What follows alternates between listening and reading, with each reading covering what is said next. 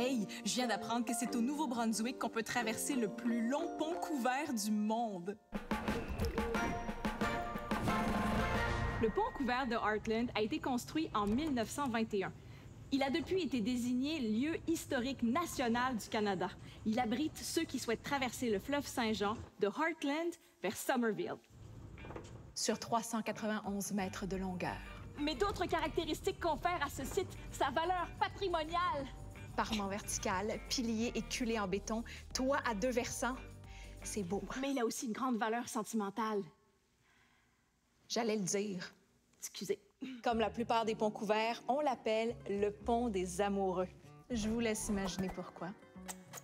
Au 19e siècle, on en comptait plus de 400 au Nouveau-Brunswick et au moins 1000 au Québec. Mais aujourd'hui, on n'en compte pas plus de 200 dans chacune de ces deux provinces. Au Nouveau-Brunswick, de nombreux efforts sont faits pour préserver les ponts couverts. Mais en définitive, on aurait pu s'en douter. Les ponts représentent une part importante de l'histoire du transport au Canada. Alors des histoires de ponts, On en a plein. 1859, Montréal. Le pont Victoria a presque coûté 7 millions de dollars. Et il a longtemps été le plus long pont ferroviaire de la planète. 1900, Québec. Le premier ministre, Sir Wilfrid Laurier, pose la première pierre du pont qui possède la plus grande portée au monde pour un pont à poutres. Il s'est aussi écroulé deux fois pendant sa construction, ce qui est en fait la pire catastrophe canadienne impliquant un pont et une leçon de construction pour les ponts du monde entier. Voilà.